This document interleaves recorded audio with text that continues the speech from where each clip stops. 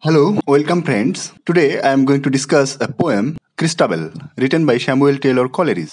I am going to discuss the MCQ type questions. These MCQs are without options. I am going directly to the answer for saving the time and those informations those will help you to find the correct option from the uh, multiple choice. Let's start. Number 1 information Christabel is a long narrative ballad by Samuel Taylor Coleridge in two parts.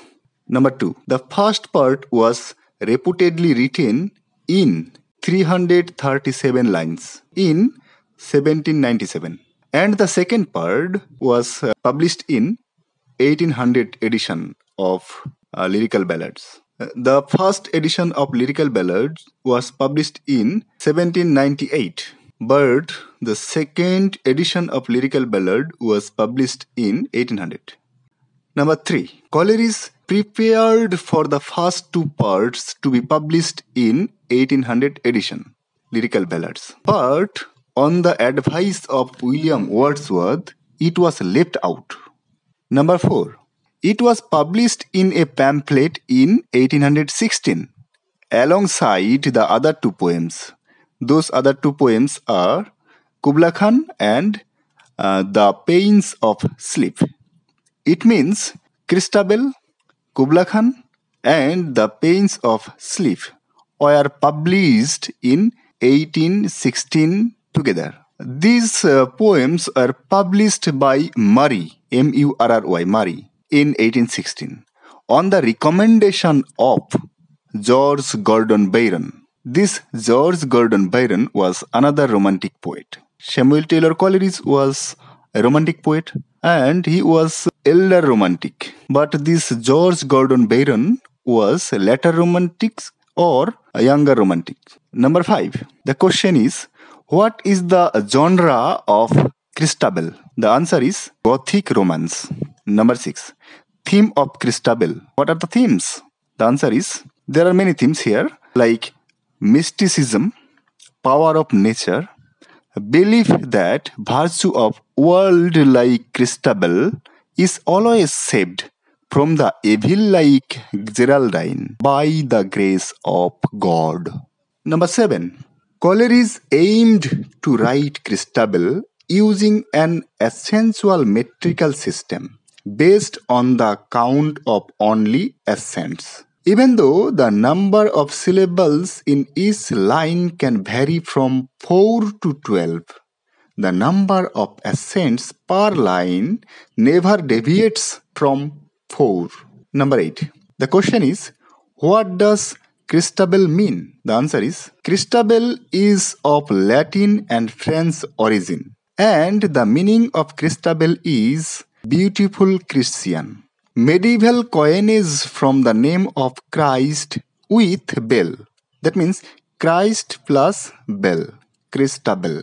Use has been primarily literary, as in Samuel Taylor Coleridge's 1816 poem of the same name, in which the heroine is an example of innocent purity. Uh, Christ is the symbol of innocent and purity. So, in the poem, the character Christabel is the embodiment of innocence and purity. Next, number 9. Christabel revolves around the juxtaposition of sin or evil versus religiosity or devoutness and sexuality versus purity. Next, number 10. The obvious characters who represent these juxtapositions are Christabel and Geraldine.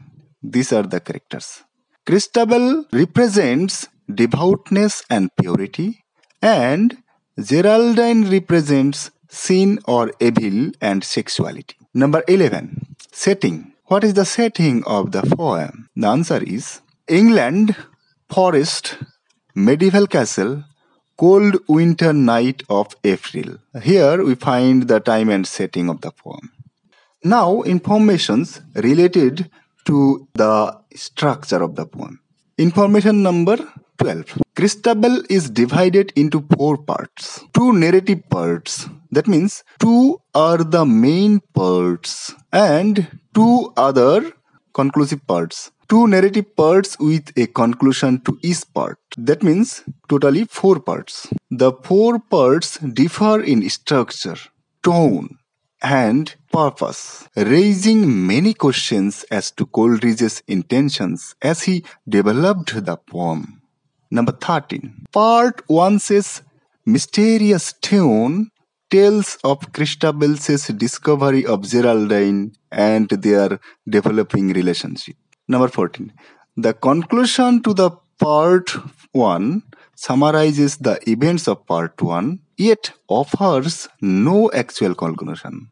Number 15. Part 2 introduces two new characters and the occurrences of events is now interwoven with Christabel's supernatural visions of Geraldine's changing form. Number 16.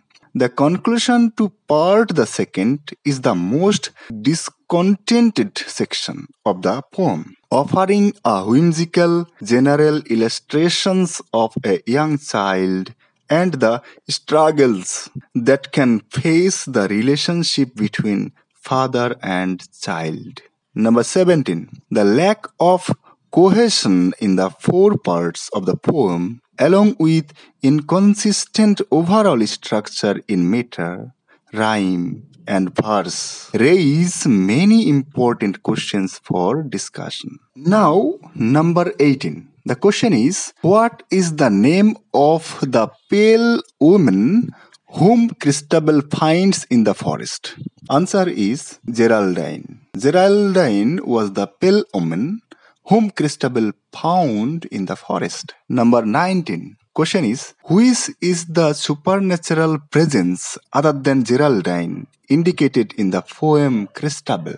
Answer is, though Christabel's late mother is only alluded to in the poem, one still feels her brooding presence throughout.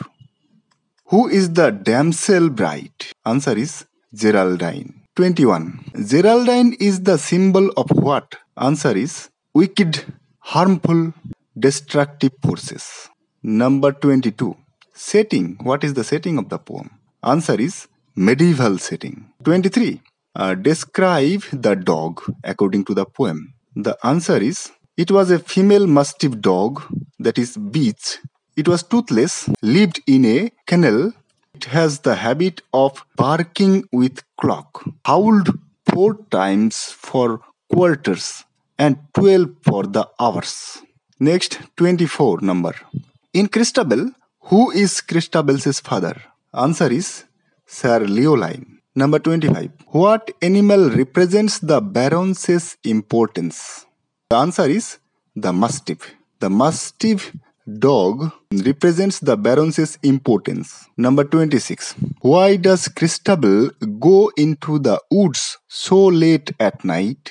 The answer is to pray for her distant fiancé. Number 27. What is the only green on the oak tree in Christabel? The answer is moss and mistletoe. Moss and mistletoe. Number 28. It has been argued that Joseph Sheridan Le Fanu's 1872 novel, the name of the novel is Carmilla. It was uh, published in 1872, written by Joseph Sheridan Le Fons. This Carmilla is a homage or adaptation of Christabel. That means based on or by influenced influenced by the poem Christabel, this Carmilla was written. Number 29. Whom does Christabel find on the other side of the oak tree? The answer is a pale woman clad in white. Next, number 30. Who left Geraldine beneath the oak tree? Answer is five warriors. 31. According to Coleridge, a good poet is. That means, who is a good poet? According to Coleridge, the answer is one who may have an object of truth but must have an object of pleasure and who uses separate parts united together That means it must have organic unity. The parts united together in judicious combination so as to fulfill both the object of truth and the ultimate requisite object of pleasure, derived from the parts as well as from the whole. The man who can accomplish this kind of acts in writing is a good poet according to Coleridge. Number 32. Christabel is betrothed to whom? The answer is a knight. So friends, thank you. In the next video, I will give you more uh, questions like this, informations like this